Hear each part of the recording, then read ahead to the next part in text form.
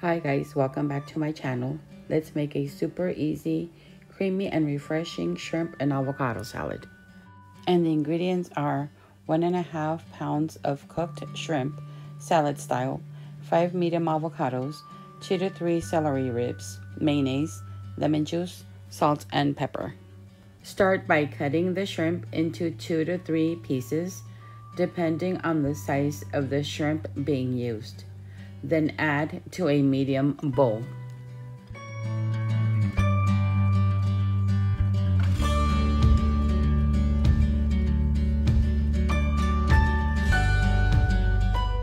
Next, you're gonna chop your celery into small pieces.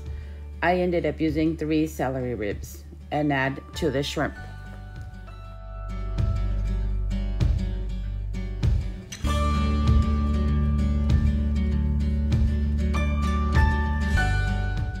Add the mayonnaise. I added three heaping tablespoons of mayonnaise and mix until well combined.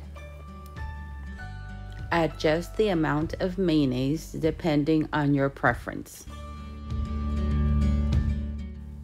Cut and chop the avocados. The amount of avocados will depend on your desired taste.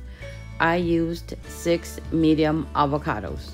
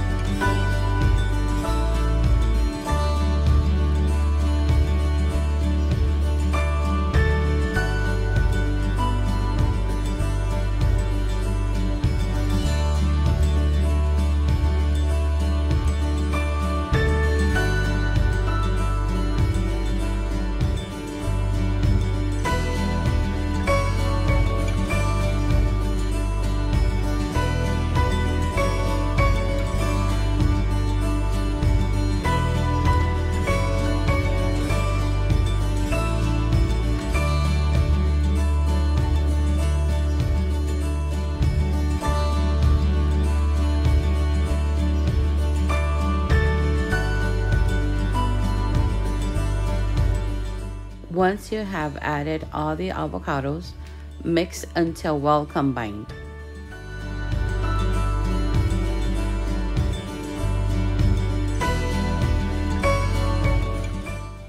Add the juice of half a lemon. Add salt and pepper to taste.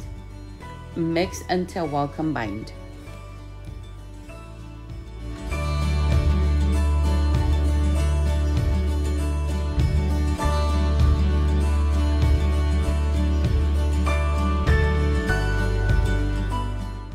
Taste to adjust any flavor, either lemon juice, salt, and or pepper. You are now ready to enjoy a super easy and delicious shrimp and avocado salad, which you can serve over a bed of lettuce, crackers, or tostadas. Thank you guys so much for watching. Please like and subscribe. See you next time.